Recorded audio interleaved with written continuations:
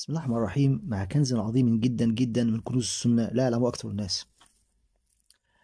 أكثر الناس التي ستسمع الدرس الآن يعني ستقاتل من أجل تنفيذ ما سأقوله في الحديث أو من أعظم الصواب الذي سأقوله الآن. روى ابن حبان في صحيحه من حديث أبي الأحوص. والإمام المستغفري في كتابه فضائل القرآن. والإمام الثعلبي من كبار علماء التابعين في كتابه كشف البيان. الحديث له طريقان. فهو حديث إن شاء الله حديث حسن صحيح. الطريق الأول صححه ابن حبان من حديث أبي الأحوص والحديث الثاني عن هشام بن عروة عن عن أبيه عروة بن الزبير رضي الله عنه عن السيدة عائشة. عروة بن الزبير ابن أخت السيدة عائشة. السيدة عائشة تبقى خالة عروة بن الزبير.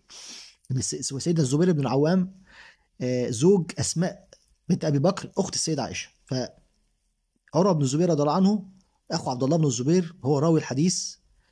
فراوي الحديث ابن اللي هو عبد الله اللي هو هشام ابن عروة ابن ابن الزب... ابن الزبير عن عائشة رضي الله عنها. قال النبي صلى الله عليه وسلم من قرأ سورة البقرة وآل عمران إيمانا واحتسابا جعل الله له يوم القيامة جناحين في رواية منظومين وفي رواية تانية مدرجين بالضر والياقوت يطير بهما يطير بهما على في رواية يطير بهما وسكت في رواية تانية يطير بهما على الصراط أسرع من البرق.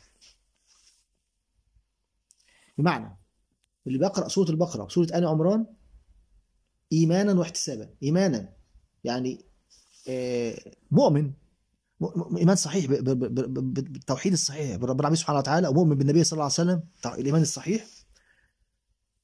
واحتسابا مصدق بالثواب اللي موجود في الحديث بيحتسب الأجر وهو بيعمل الحديث وهو بيعمل الحديث. ربنا هيجعل له يوم القيامة جناحين منظومين أو مدرجين بالضر والياقوت يطير يطير بهما على الصراط اللي هو أدق من الشعرة. وحد من السيف هيضرب على متن جهنم بطولها وطول الصراط كما قال علماء الصحابة مسيرة 15000 سنة هتطير هتطير على الصراط هتعدي على الصراط بسرعة أسرع من سرعة البرق. فشوف الفضل العظيم.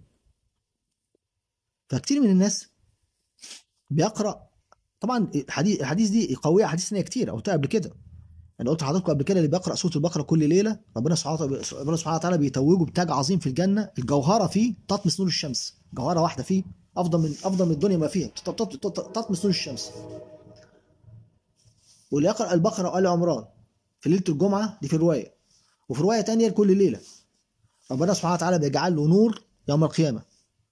يجعل له نور كما بي كما بين. في رواية كما بين سبع سماء وسبع أرض. في رواية كما بين عجيبة وعروبه العلماء قالوا عروبة العرش وعجيبة بعض العلماء قالوا عجيبة. سبع أرض وعروبة سبع سبع وبعضهم قال ما بين زي سبع ما بين سبع أرض والعرش. لما ربنا يديك نور من زي من سبع سبع من سبع أرض سبع سماء.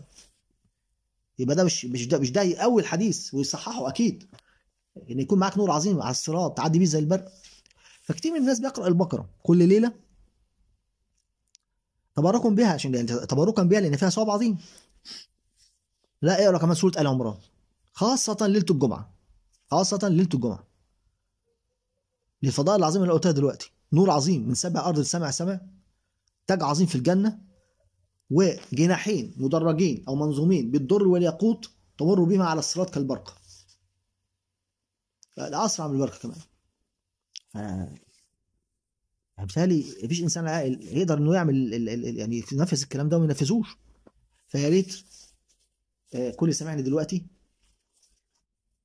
خاصة الناس اللي مواظبة على قراءة سورة البقرة كل ليلة. اللي بيخليك تقرأ البقرة كل ليلة اقرأ معاها كمان آل عمران، ما هم دول الزهراوين.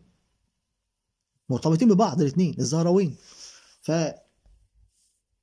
فضل آل عمران مع البقرة أفضل بكتير من البقرة لوحدها. يبقى أنت بتقرأ البقرة اقرأ معاها آل عمران. إيمانا واحتسابا إن ربنا سبحانه وتعالى يعني يعني يشرفك رب العالمين سبحانه وتعالى بجناحين من الدر والياقوت مدرجين بالدر والياقوت تطير بهما أسرع من البرق على الصراط. وده معناه الوصول. أن تكون من السابقين إلى الجنة من أسبق السابقين إلى الجنة وصولا إلى الفردوس الأعلى من الجنة. ف يا ريت كل اللي سمعني دلوقتي تقيم هذه السنة العظيمه السنة العظيمة لأن فضلها عظيم جدا. بس ويا ريت ما تنسوش تدعوا لي يعني الناس ال- اللي جت ادعوا لي بان يبارك الله سبحانه وتعالى في هذه الدروس وهذه القناة حتى تصل آه، ملايين الناس. آه، فيا ريت تنشروا هذا الدرس وأنا هكتب لكم هحط لكم كل آه، الأحاديث آه، برواياتها واسانيدها في الوصف. سأخذ هذا الكلام والشو أقول قولي هذا أستغفر الله لي.